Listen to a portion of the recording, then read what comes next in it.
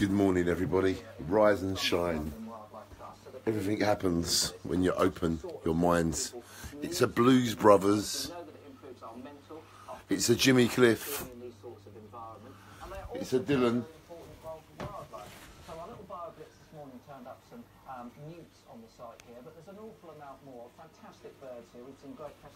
It's time to wake up with the lions, know, elephants on the streets of Jaywick with my children.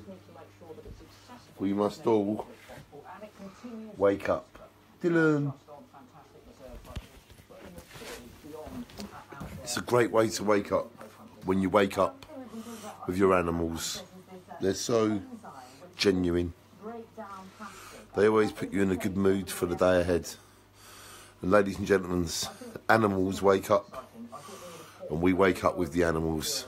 Have a great day, everybody, because animals are waking up. That must mean we've got to wake up.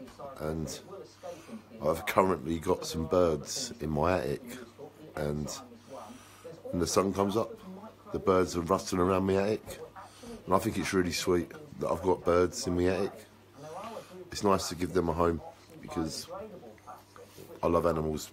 But the fish are awake, Dylan's awake, and I'm awake. And I hope that you're awake when you're going to wake up. And uh, have a great day, everybody, because the animals wake up.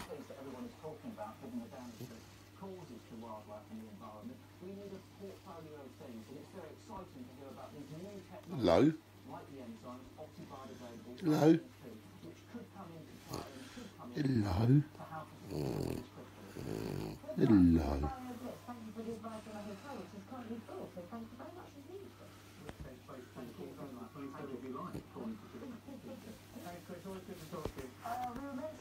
Dylan.